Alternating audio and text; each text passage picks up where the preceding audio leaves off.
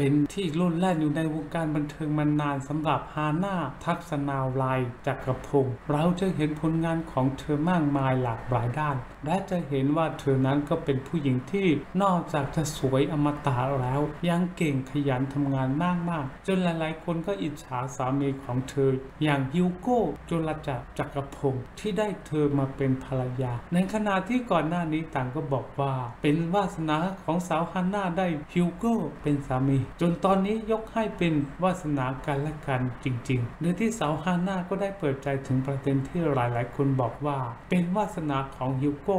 มากๆ ที่ได้เธอเป็นภรรยา เป็นแม่ของลูก โดยที่สาวฮันน่าก็บอกว่าระยะทางพิสูจน์มาการเวลาพิสูจน์คนแต่ก่อนก็บอกว่าไม่เหมาะสมกัน แต่วันหนึ่งจะทำให้รู้เลยว่าเราประคับประคองรักกันมากอยู่ด้วยกันมาก็รักน่ารักน่าเอ็นดูกัน เรื่องภายในบ้านตอนนี้ก็ดูแลหมดเลย ตั้งแต่เริ่มต้นเขาไว้ใจให้ตนดูแลทุกอย่าง ซึ่งก็นับว่าเป็นความโชคดีที่ได้เธอเป็นภรรยา เพราะถ้าหากเป็นคนอื่นเข้ามา อาจจะหมดตัว ไม่รู้เลยใครทำอะไรกันบ้าง ให้ภรรยาทำทุกอย่างได้หมด